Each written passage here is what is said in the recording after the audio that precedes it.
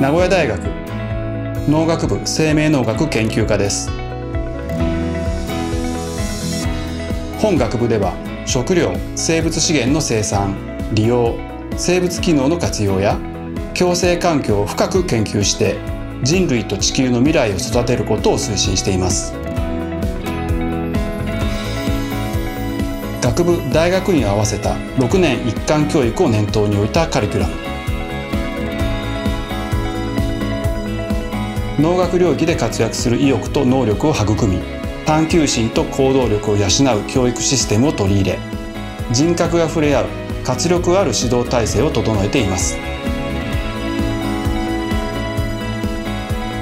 農業や農林関連産業における主要な土地である東海地区農学に関わる基礎から応用までの幅広い知識と能力を身につけ国内外の産業界行政並びにアカデミアで活躍できる次世代リーダーを育成します。